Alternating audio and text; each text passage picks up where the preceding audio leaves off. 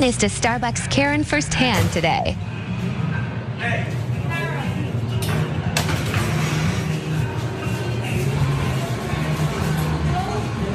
You seriously need to stop, dude. That's go.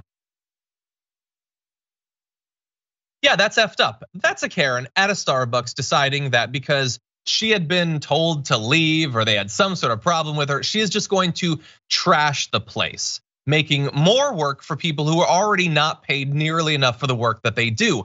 But but I want you to understand the war on workers, especially in the service industry, in the fast food industry, the Karens are coming for them. That's Starbucks. We've got others. Here's Taco Bell.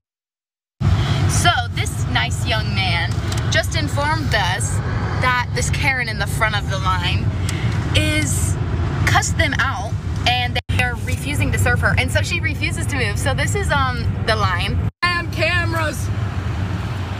Well, ladies and gentlemen, we have a man going to talk to this nice young lady, old woman, I mean, Karen.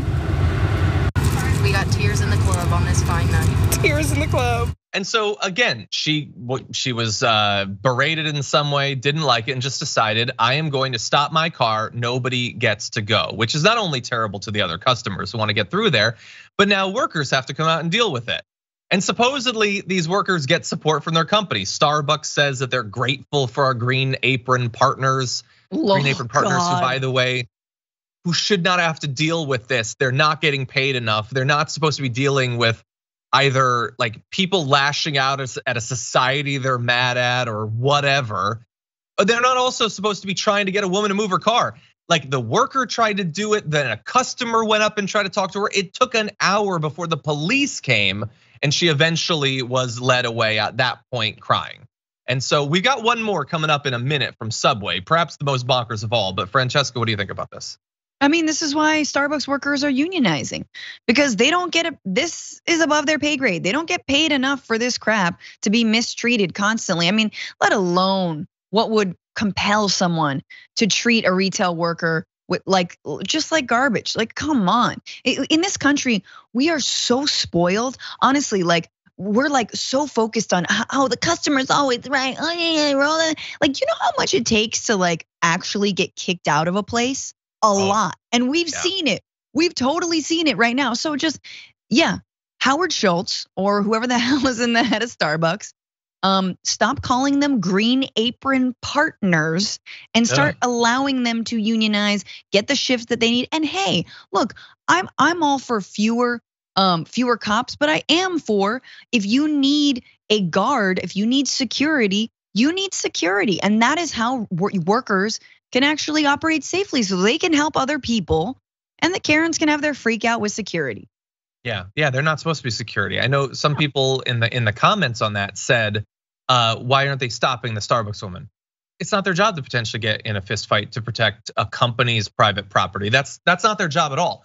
And uh, I want the companies to treat them right, but I also want all of us together. I am trying to start a countervailing force to the Karenization of America. Let's stand by workers, and it, it- not just at the point where like someone's freaking out and breaking things don't talk disrespectfully to people who are just desperately grinding away to survive. Tip workers appropriately. They don't want to be there any more than you do. They're forced to to survive in our economy. So treat them right. we have when one you more even example. can't tip. Here's the other thing: a lot of fast food places don't have tip jars at all. So do Mm-hmm. it anyway. Why not? Who cares if there's no jar? They're not allowed to give it to them anyway. It's- and that's the other BS thing. It's like. McDonald's workers also don't allow you to tip. Anyway, keep going. 100%. We're gonna go to one more. Here is a manager recording a TikTok berating an employee. This is the person that thinks that doesn't want to do his job at work. And I'm sick of it. You can go home, Marcus. You can go home. You can find No. you employee, bitch. No one wants you here. you a new employee, Okay, but you can go home. You can go home. Yeah, I'm gonna say I suspect that that one might not be 100% serious. I don't know for sure, and I want to make sure that we're standing up for all workers. That one seemed jokey, but but anyway, the point remains: we have our culture. We have been raised to not give a damn about workers, not about other workers, not about ourselves either. We're not supposed to expect anything for ourselves. We're certainly not supposed to organize. We're not supposed to advocate for ourselves. We're not supposed to expect that politicians would feel any obligation to the people that are at anything other than like the top couple positions in a corporation. We need to start to respect ourselves, and that should translate into showing more respect for the workers around us. Yeah, and it's part and parcel of our culture, really quickly. Just a, a, an American culture of like being serviced, like, oh yeah, I Mm-hmm. deserve all the things. I can just from a click of a button get my lunch, my dinner, my eh, my nails done. You do this, you do that, and no matter where you are, right? Like if you're not a millionaire or billionaire, you have that like ridiculous "you owe me something" mentality without any humanization for the person on the other Yeah. side who's actually working an eight-hour shift on their feet, right? With Yeah. kids at home and barely able to make ends meet.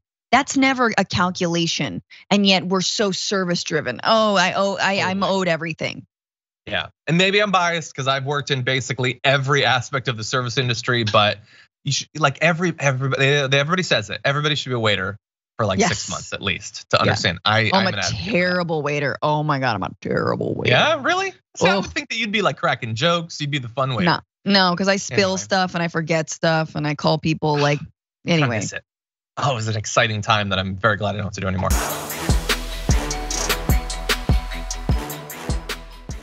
Check out the Damage Report podcast each day, wherever you get your podcasts, whether Pocket Casts or Stitcher or iTunes.